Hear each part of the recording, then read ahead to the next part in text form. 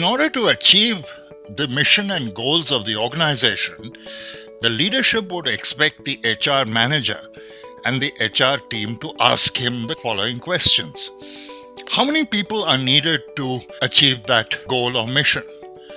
What level of skills do you want these people to have? What level of competence? And then when do you need them? And finally, of course, the HR team should know where to get them at the optimum cost.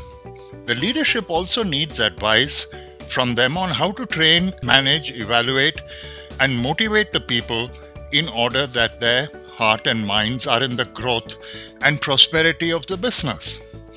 As Zig Ziglar put it, you don't build a business, you build people, and then people build the business.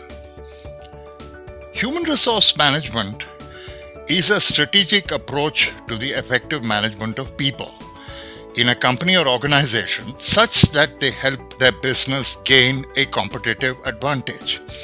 It is designed to maximize employee performance in service of the employer's strategic objectives. So, the process of HR management involves planning, acquiring, training, appraising, developing, and compensating employees, and attending to their labor relations, health, safety, and fairness concerns. Before we get to that in more detail, let us look at what is an organization. It is people with formally assigned roles who work together to achieve the organization's goals over a period of time. And in this context, a manager is the person responsible for accomplishing the organization's goals and who does so by managing the efforts of the organization's people. So, the HR aspects of a manager's job begins by conducting job analysis, planning for labor needs and recruiting candidates, selecting candidates, of which interview is one of them, and one must remember here that HR is the face of the company. The candidate who enters judges the company by the HR. And then, of course, orienting and training new employees, managing wages and salaries, providing incentives and benefits, appraising performance, and very importantly, communicating. It also requires training and developing of managers, building employee commitment, very, very crucial. And finally, managing separations, which is people leaving the organization, whether voluntarily or involuntarily. Unfortunately, there can be some mistakes made by HR. And the first one is hiring the wrong person for the job, experiencing high turnover or attrition rate in the organization, having your people not giving and doing their best, wasting time with useless discussions and interviews, having your company in court because of various actions, have your firm cited for unfair labor practices, have some employees think their salaries are unfair and inequitable relative to others in the organization, allowing a lack of training to undermine your department's effectiveness, committing any unfair labor practices.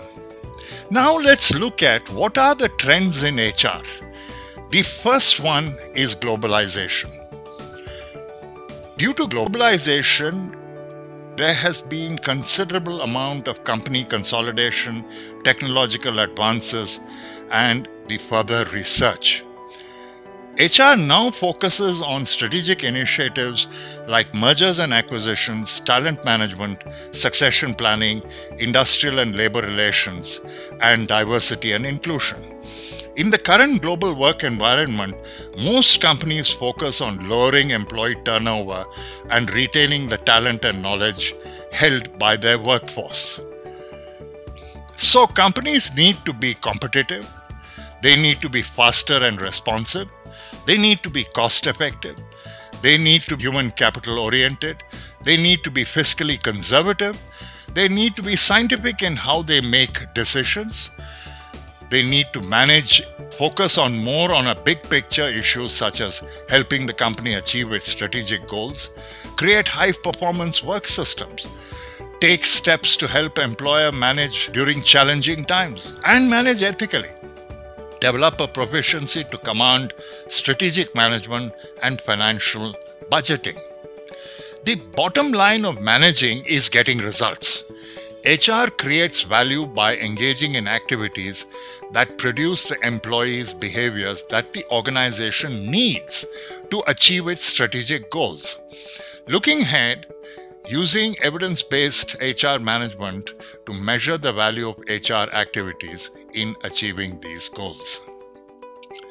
Here is a list of three excellent books, and there are many more which you could refer to and read in order to gain greater depth and knowledge about the subject. Thank you.